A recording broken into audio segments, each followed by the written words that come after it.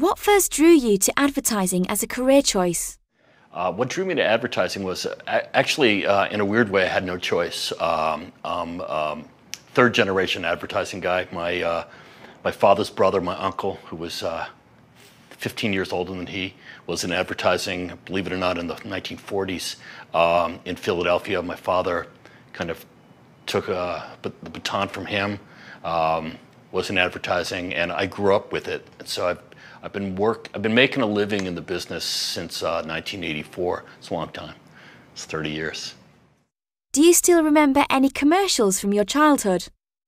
Uh, so I remember a lot of commercials. Um, you know, growing up um, in an advertising household, uh, as we did, um, TV was more of a social event in those days. It wasn't a TV in every room. Like the family would gather to watch television, and um, we were told not to talk, you know, during the commercials. We could talk during the shows. So I, I grew up kind of uh, watching commercials. I remember a lot of commercials.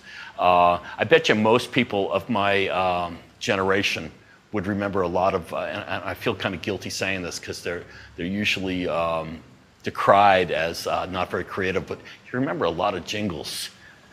What do you think makes jingles memorable? Among purists in the field, jingles are, uh, you know, laughed at, scoffed at. But God, you remember them. You know, they what do they call them? Earworms. They get in your head and you can't get them out sometimes. And you add that to, uh, you know, almost uh, uh, everyday exposure, six times a day. It's going to get in there. I can do. Uh, there was a. There was a. I could sing one for you. There was a. Um, a kid's hot cereal, a hot cereal for children called H.O. Farina. And it was an animated cartoon. It was very rudimentary. If, if you saw it today, you wouldn't believe it was like a national broadcast cartoon. And it was a little story of Willie and Wilhelmina. And uh, Willie trips on a rock. And, he's, and he goes, Every day I trip over that rock, Wilhelmina. And she says, Move it, Willie. And he says, Can't, too big. And I bet you I'm getting this word for word, if you could find it.